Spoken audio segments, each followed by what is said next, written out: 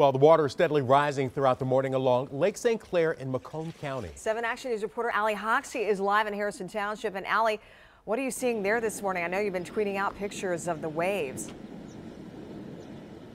Yeah, that's right. An hour ago, this water on the road here where I'm at at this DNR boat launch was not here. And now it is, and it's coming up pretty quickly. And we're just even being out here noticing that the wind's picking up and that the waves are picking up. There's also major concerns south of here in Monroe. Now, this is video of Monroe from this morning. The waves there already high, crashing into backyards and docks. We saw a very similar scene yesterday in French Township.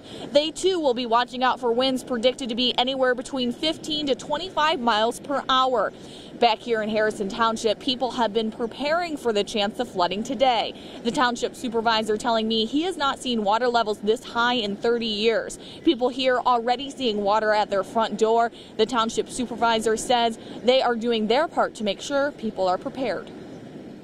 So in some cases, you have to surround your home like a moat.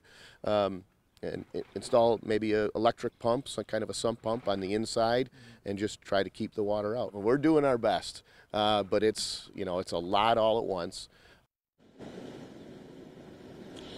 The Army Corps of Engineer predicts another eight inches here today.